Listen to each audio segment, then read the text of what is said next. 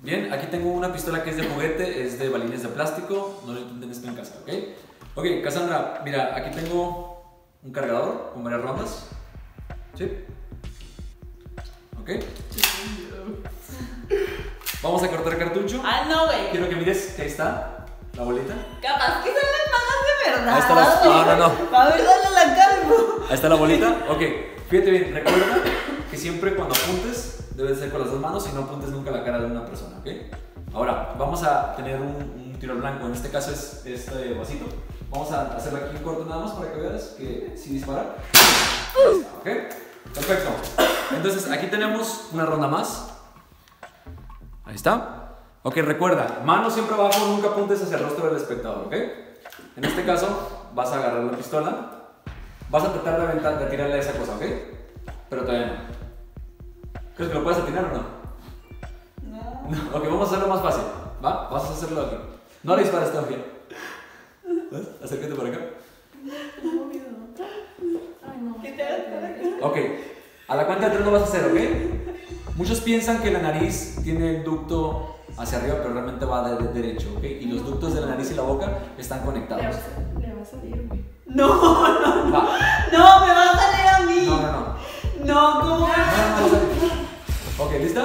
No quiero hacer No, no. A la cuenta de tres. Una, dos, tres.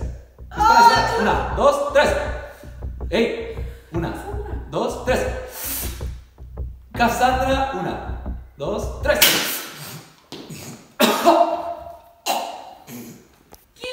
Espera, espera. Espera, mira, mira, mira, ven, ven, acércate, acércate. Mira, mira. Mira, Ay, no, güey. Ay, no. mira. Pon tu mano, pon tu mano, pon tu mano.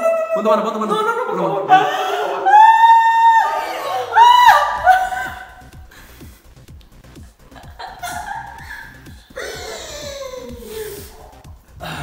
Ahí está. Se ríe.